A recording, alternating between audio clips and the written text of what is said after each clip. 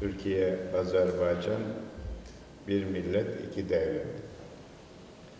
Dolayısıyla e, ülkelerimiz arasındaki münasebetler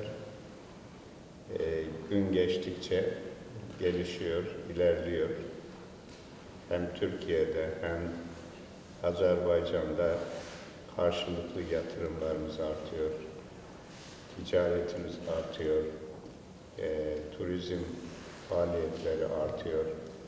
Bununla da yetinmiyoruz.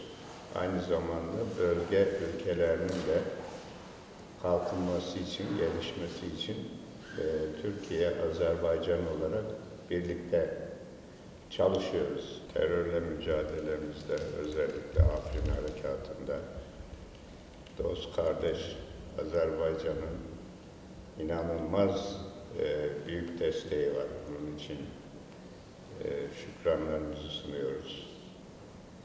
Azerbaycan'ın derdi bizim derdimiz. Azerbaycan'ın e, sevinci bizim sevincimiz. Biz hep böyle görüyoruz. Bir kez daha teşekkür ederim. Və Türkiyə-Azərbaycan dostluq, qardaşlıq münasibətləri bundan sonra da uğurlu inkişaf edəcək. Biz dostuq, qardaşıq.